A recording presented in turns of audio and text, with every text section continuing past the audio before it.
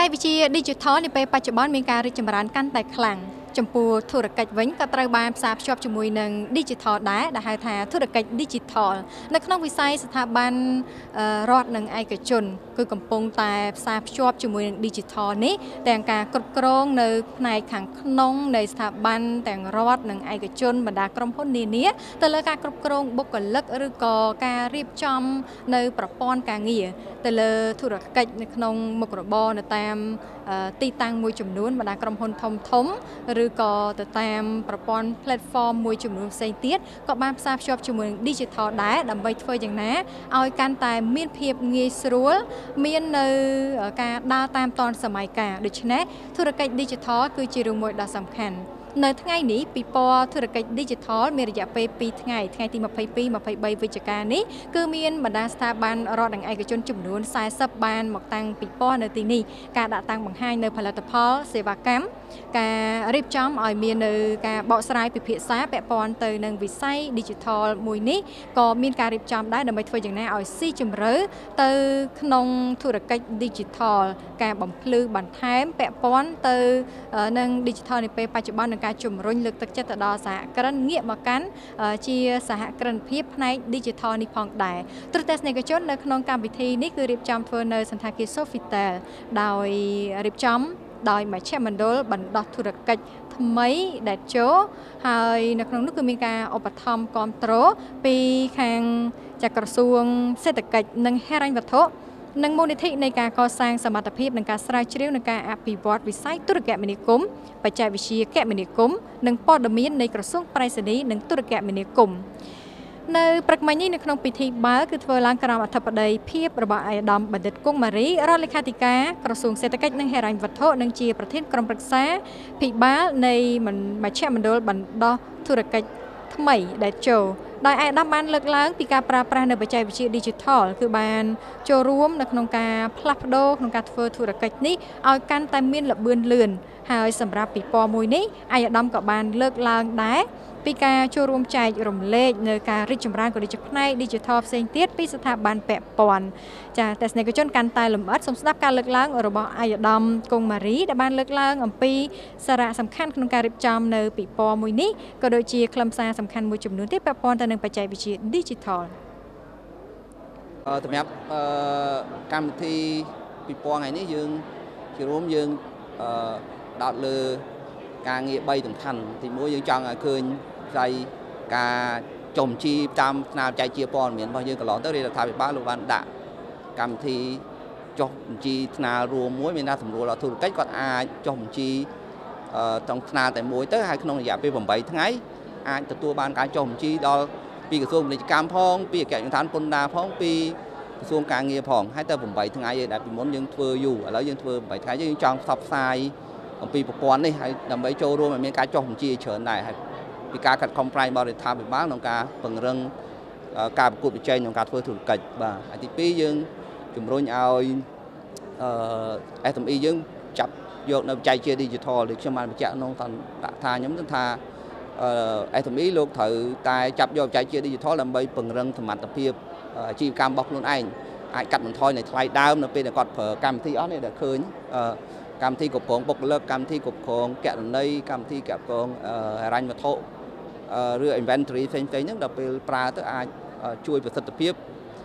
នៃប្រតិបត្តិការរបស់គាត់ហើយកាត់ថយទៅថ្លៃដើមផងដែរអញ្ចឹងយើងលើកទឹកចិត្តឲ្យ SME ទាំងអស់ហើយឬក៏សហគ្រាសទាំងអស់លោកប្រើប្រាស់បច្ចេកវិទ្យាហ្នឹងតែម្ដងហើយដូចខ្ញុំបានបញ្ជាក់ទាំងថាក្រៅតែពីបរិងអឺនៅប្រតិបត្តិការរបស់គាត់គឺការពង្រីកទីផ្សារអឺ បើសិនជាគាត់ប្រើប្រាស់ចែក digital គាត់អាចលក់ដូរមិនត្រឹមតែនៅកន្លែងដែលជាតំបន់ដែលគាត់បើកហាងទេតែគាត់អាចលក់ដូរទៅបានគ្រប់ប្រទេសជនទាំងអស់នៅក្នុងស្រុកក្នុងប្រទេសទាំងមូលគាត់អាចទៅតំបន់ទៀតទៅថ្ងៃក្រោយអញ្ចឹងទីផ្សារគាត់ធំអញ្ចឹងយើងជំរុញឲ្យគាត់ប្រើប្រាស់អាហ្នឹងហើយនឹងចុងក្រោយយើងនិយាយពីរឿង start up ពាក្យ start up នេះជាពាក្យមួយថ្មីបន្តិចគឺធុរកិច្ចថ្មីអត់ទាន់ជាធុរកិច្ចពេញលេញទេគាត់ជាផ្អែកទៅលើនវានុវត្តមានផ្អែកលើ innovation យើងឃើញមានស្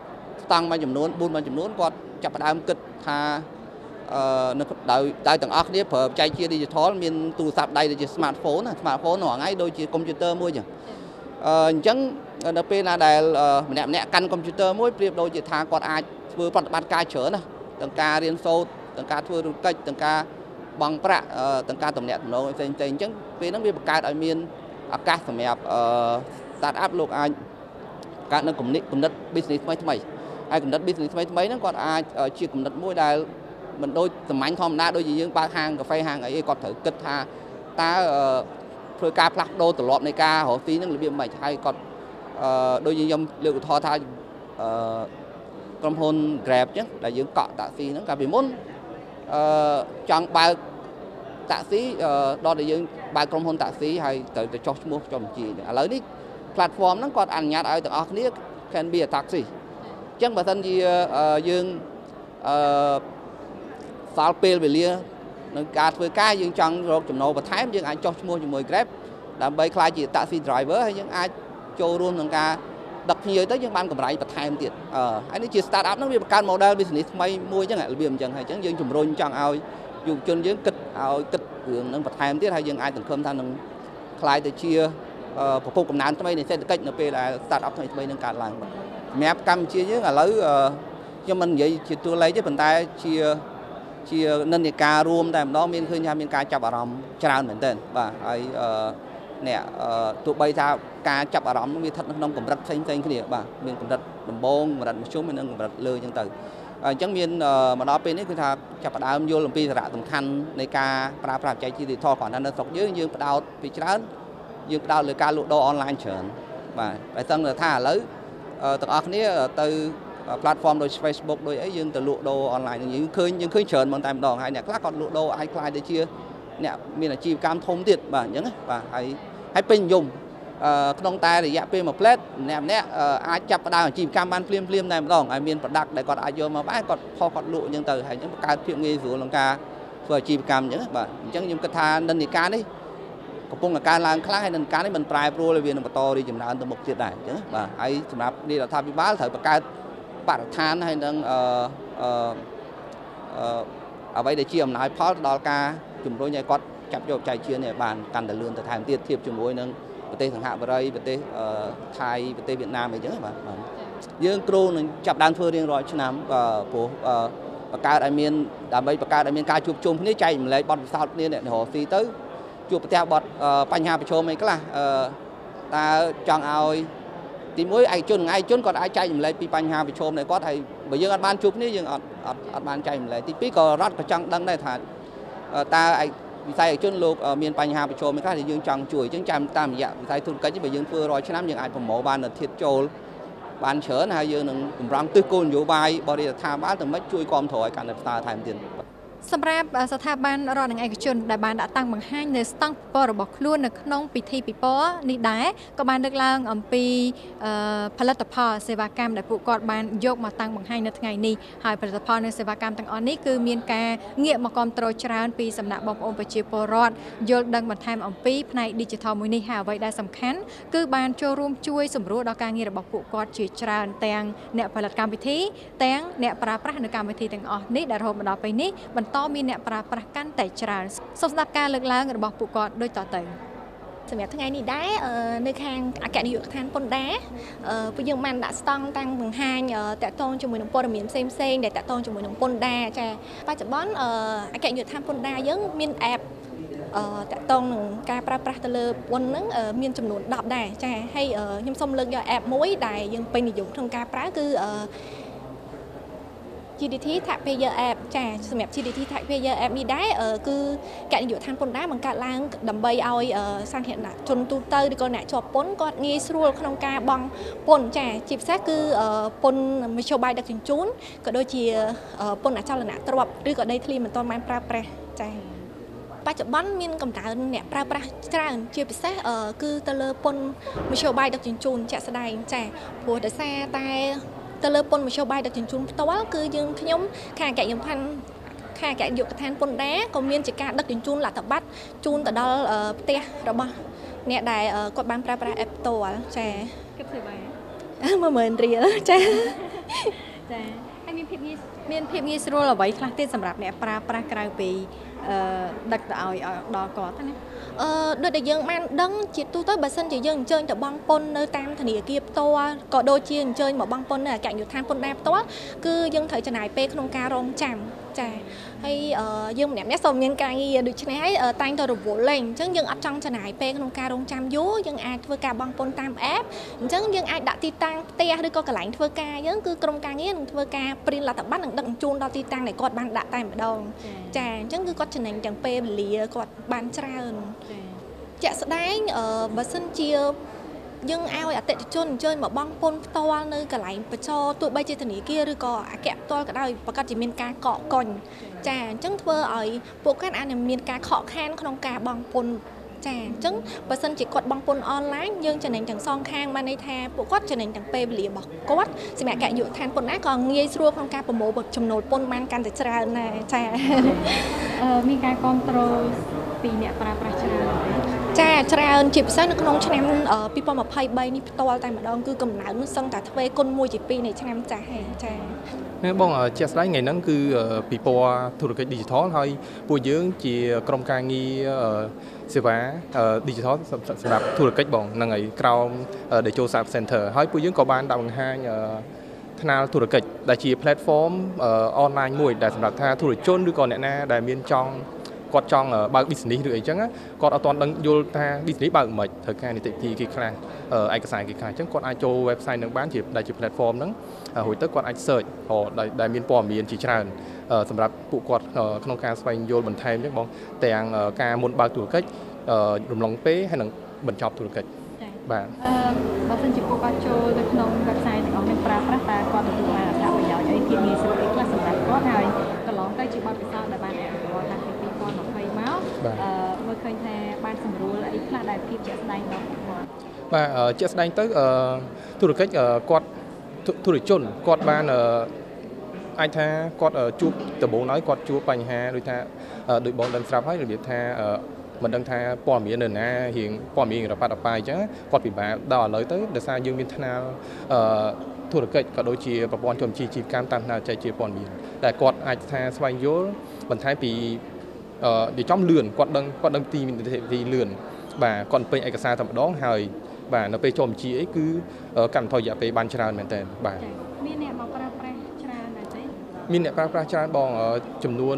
ក្រុមហ៊ុនជាក់ស្ដែងប៉ុន្តែប្រមាណនេះបងមិនប្រកាសទេគឺខ្ទង់ប្រហែលជា30000ក្រុមហ៊ុនជាងបាទបាទពីការដាក់ដំណើរការបាទ អបាទហ្នឹងឯងបងចំពោះប្រជាពលរដ្ឋឬក៏ធុរជនណាដែលគាត់មានកំណត់ចង់បើកអាជីវកម្មរបស់គាត់ថ្មីសម្រាប់អាជីវកម្មថ្មីបាទយើងគាត់អាចតាក់ទងមកក្រុមការងារបានបាទរួចទៅគាត់អាចស្វែងយល់បន្ថែមថាការចុះអាជីវកម្មការចុះបញ្ជីអាជីវកម្មនៅកម្ពុជាឥឡូវគឺមានភាពងាយស្រួលជាងមុនច្រើនបាទ នឹងបងកុំឲ្យគាត់មានការព្រួយបារម្ភថាខ្លាចថាចុះទៅពិបាកឬក៏អីអត់អត់ពិបាកទេបងអត់ពិបាកទេអឺតើតោះជាមួយនឹងការជួយសម្រួលទី1គឺ paperless យើងលែងប្រើជាឯកសារ กระดาษអីទៀតទេគ្រប់យ៉ាងគឺយើង centralize data គឺនៅលើ system ហ្មងអញ្ចឹងនៅក្នុង system គឺយើងអាចតំណែងគ្នាបានអញ្ចឹងតកតងមួយទៀតគឺ communication communication ជាទូទៅនៅពេលដែលយើង request leave គឺយើងត្រូវទៅ HR ដើម្បីកាន់กระดาษហ្នឹងហើយយើងយកទៅ approve ជាមួយ manager ទៀតអញ្ចឹងវាចំណាយពេលយូរប៉ុន្តែបើយើងប្រើនៅលើ system គឺលែងមានចំណាយពេលយូរហើយយើង request ទៅតាម app ហើយ manager យើងអាចដឹងច្បាស់មកអាចដឹងបានអញ្ចឹងតកតងមួយការ approve stake អីគឺនៅលើ system គេ គេគេ operate ឲ្យហ្មងចាអូខេអញ្ចឹងវា support យើងបានច្រើនអឺដូចជាបើសម្រាប់អតិថិជនវិញគឺអឺបើគាត់មាន app ក្នុងដៃគឺគាត់មិនចាំបាច់ទៅធ្វើដំណើរគាត់ជិះឡានឬម៉ូតូពីផ្ទះគាត់ទៅដល់បេនឡានដើម្បីទៅស្វែងរកសម្បត្តិឡានទេគឺគាត់មានតែ app មួយគាត់ចូលក្នុង app ហ្នឹងគាត់ចង់ទៅទៅទិសដៅណាហើយគាត់អាចជ្រើសរើស ម៉ោងក្រុមហ៊ុនឡានដែលគាត់ពេញចិត្តបានហើយក្នុងនោះមាន payment ជាច្រើនអាចឲ្យគាត់ធ្វើការទូទាត់ក្នុងនោះបានហ្នឹងហើយបើងាកមក partner ដៃគូក្រុមហ៊ុនឡានយើងវិញអញ្ចឹងអឺអឺពួកគាត់អាចនិយាយទៅគាត់អាច growing sale គាត់នៅលើផ្នែក online បានច្រើនអូខេអញ្ចឹងអឺបច្ចុប្បន្នភាពនោះគឺភ្ញៀវគាត់មានចំណេះដឹងច្រើនក្នុងការ ផ្នែក digital ហ្នឹងអញ្ចឹងណាអញ្ចឹងបើសិនជាក្រុមហ៊ុនឡានក៏គាត់មានជា platform អីមួយសម្រាប់ឲ្យភ្ញៀវគាត់ចូលកក់ហ្នឹងគឺល្អមែនតើហ្នឹងហើយចាចឹងអ្វីដែលយើងលើកមកបង្ហាញហ្នឹងមានដូចជាប្រព័ន្ធ HR payroll accounting system ប្រព័ន្ធលក់រាយ inventory នេះ restaurant អីហ្នឹងហើយនឹងប្រដាច់យើងមួយចំនួនប្រព័ន្ធគ្រប់គ្រងធនធានមនុស្សបើយើងអឺបើនិយាយពីភាពងាយស្រួលគឺយើងជំនួសឲ្យការ អឺ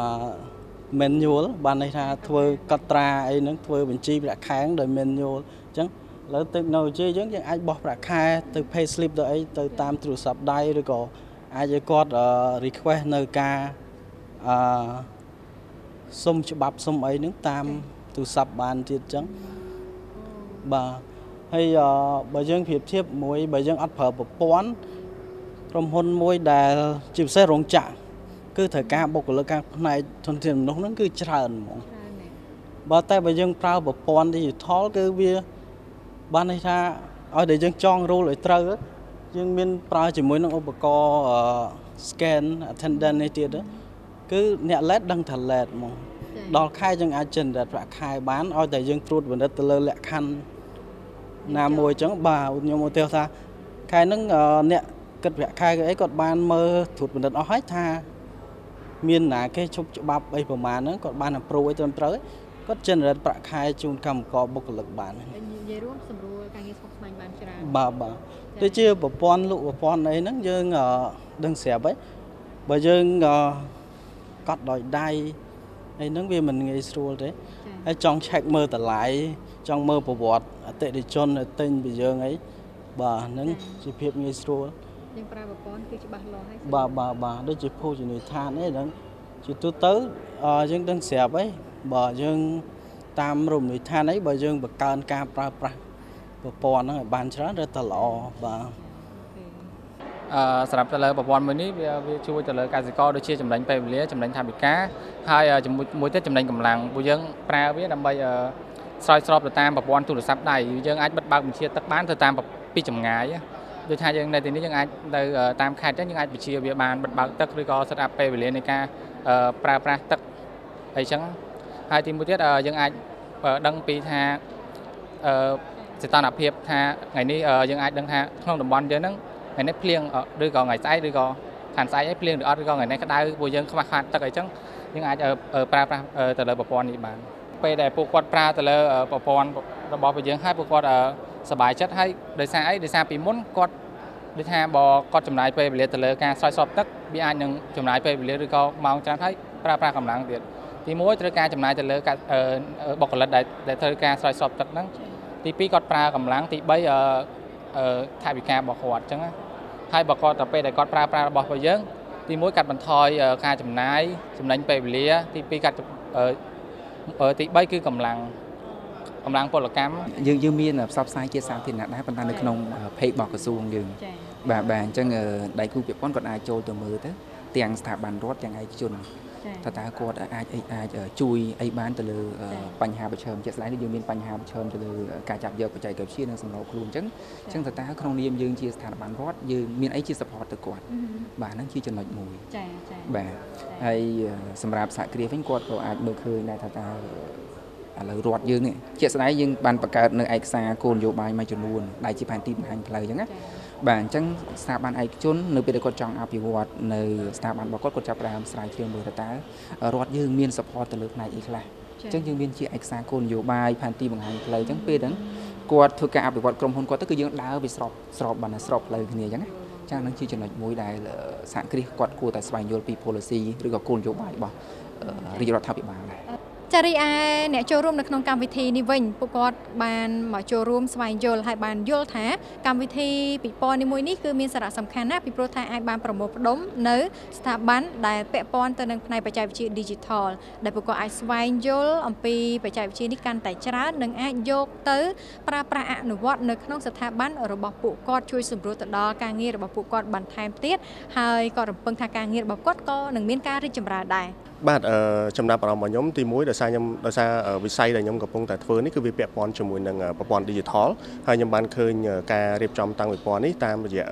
បណ្ដាញសង្គមដែរទេហ្នឹងហើយមិនមែនជាការអញ្ជើញទេប៉ុន្តែខ្ញុំចាប់អារម្មណ៍ហើយក្នុងហ្នឹងក៏គេដាក់ អឺ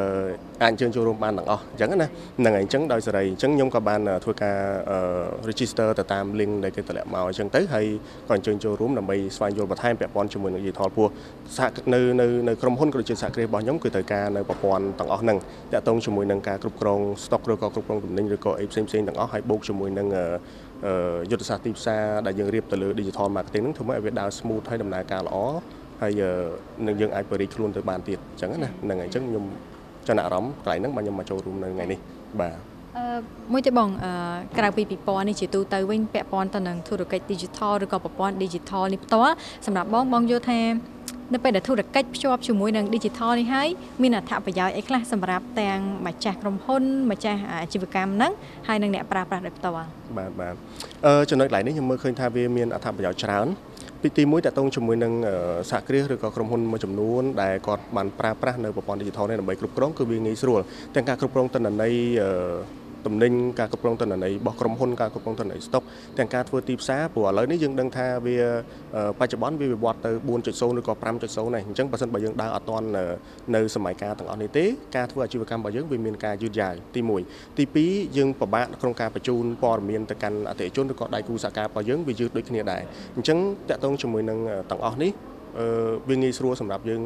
ធ្វើអាជីវកម្មសម្រាប់ការផ្ដល់ព័ត៌មានទៅកាន់អតិថិជនក៏ដៃគូរបស់យើងបានច្រើនច្រើនខ្លាំងមែនទែនហើយវាអាចទលំទលាយជាលក្ខណៈ worldwide ទៀតវាអត់មែនតែសម្រាប់តែនៅក្នុងស្រុកទេវាអាចចេញទៅខាងក្រៅជា international បានអញ្ចឹងណាបាទចាទស្សនិកជនសម្រាប់ពិព័រណ៍នេះគឺមានរយៈពេល2ថ្ងៃថ្ងៃទី22និងថ្ងៃទី23ខែវិច្ឆិកាចាដូចជាការលើកឡើងរបស់ អឺអាយដាមបណ្ឌិតកុងម៉ារីអញ្ចឹងគឺពិព័រណ៍មួយនេះនឹងរំពឹងថារៀបចំជារៀងរាល់ឆ្នាំដើម្បីជាប្រយោជន៍ទៅដល់អ្នកបង្កើតនៅកម្មវិធីផ្សេងផ្សេងពាក់ព័ន្ធនឹងបច្ចេកវិទ្យាក៏ដូចជាអ្នកប្រើប្រាស់ឲ្យបានស្វែងយល់ពីគ្នាឲ្យបានកាន់តែច្រើននិងធ្វើឲ្យបច្ចេកវិទ្យាមួយនេះកាន់តែរីកចម្រើនហើយអ្វីដែលពិសេសគឺការចែករំលែកអំពីភាពរីកចម្រើន បញ្ហាដែលមាននៅក្នុងបច្ចេកវិទ្យា Digital មួយនេះធ្វើយ៉ាងណាអាចចូលរួមជាមួយគ្នាជជែកហើយនឹងអាចស្វែងរកដំណោះស្រាយដែលល្អធ្វើឲ្យបច្ចេកវិទ្យានៅក្នុងប្រទេសកម្ពុជាកាន់តែរីកចម្រើនជាពិសេសគឺយុវជនចំនួនក្រោយដែលចង់បង្កើតនៅធុរកិច្ចថ្មីធុរកិច្ចពាក់ព័ន្ធ Digital អាចស្វែងយល់និងមានគំនិតយ៉ាងល្អប្រសើរសម្រាប់បទពិសោធន៍ដែលមាននឹងការដាក់តាំងបង្ហាញនៅទីនេះចាសសូមអរគុណលោកអ្នកដែលបានទស្សនានៅក្នុងកម្មវិធីអឺ D4 ដែលនេះខ្ញុំជម្រាបជូនអំពីពិព័រណ៍ធុរកិច្ចសម្រាប់ឆ្នាំ2023នាពេលនេះសូមបន្តតាមដានទស្សនានេះកម្មវិធីនេះជាបន្តបន្តទៀតដើម្បីលោកអ្នកទទួលបាននូវព័ត៌មានបន្ថែមពាក់ព័ន្ធទៅនឹងវិស័យបច្ចេកវិទ្យា Digital ចាសសូមអរគុណទូទស្សនិកជនទស្សនិកជនសូមរងចាំទស្សនាកម្មវិធី D4All នៅសប្តាហ៍ក្រោយៗបន្តទៀត។ កម្មវិធីនេះនឹងនាំនៅប្រធានបទសំខាន់សំខាន់ជាច្រើនជំវិញវិស័យបច្ចេកវិទ្យា Digital ដែលមានការចូលរួមបកស្រាយដោយវិក្កាមិនមកពីស្ថាប័នពាក់ព័ន្ធនិងជំនាញច្បាស់លាស់កម្មវិធីនេះមានផ្សាយជូនរៀងរាល់ថ្ងៃសុក្រវេលាម៉ោង6:30នាទីល្ងាចនិងផ្សាយឡើងវិញនៅថ្ងៃអាទិត្យវេលាម៉ោង7:30នាទីព្រឹក។